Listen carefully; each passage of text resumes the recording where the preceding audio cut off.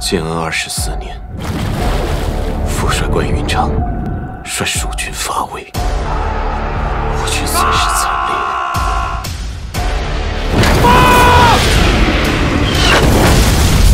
你的青龙偃月刀，相传是天下第一。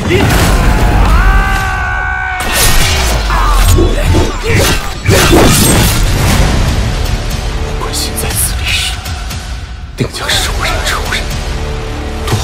回青龙偃月刀。夷陵水寨公使图，我早已在夷陵给他布下了天罗地网。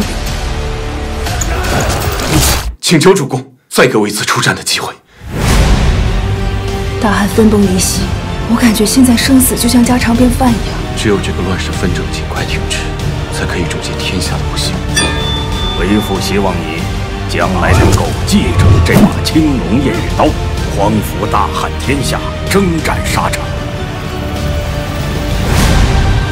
这一仗必定要打到最后一刻。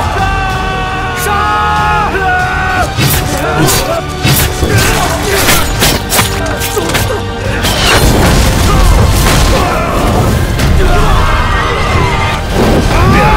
复兴汉室，九死不悔。